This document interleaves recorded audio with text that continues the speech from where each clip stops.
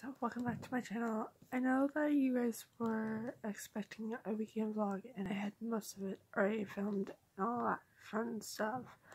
And then my car got stolen and my phone was in it. So I lost all the footage including the plan with me that I had filmed this week. Um, so this week there won't be a plan with me because of that reason. Um, this weekend is like spent like getting a new key fob ordered, um, calling insurance, calling the police, calling everything to find my car. And luckily, we found my car. Um, the stuff that was stolen can be replaced, so it's not a big deal. Um, I just have to wait for my card to come in so I can um, get my license back, which really sucks because I'll be without my license for like three weeks. But the good thing is that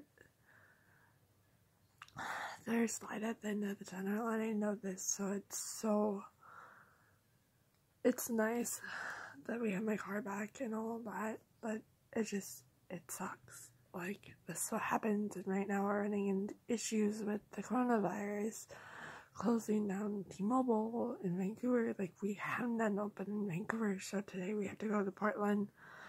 So I'm waiting for my mom to get here so we can go over to Portland and hopefully get my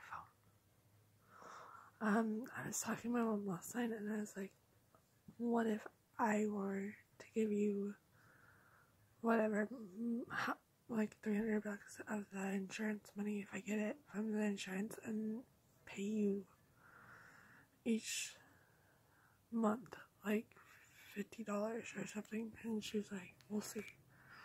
So I'm really hoping my mom will just go okay, because she knows how much I don't like shattered screens, and this phone is so shattered. I hate it. Like it's not. Wow.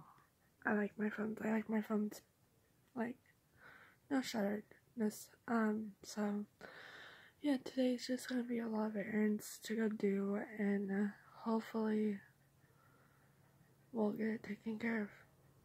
So I will see you guys next week for a plan with me for sure. And we'll also have a weekend vlog. Not this weekend, this not this upcoming weekend, but next weekend. Bye guys.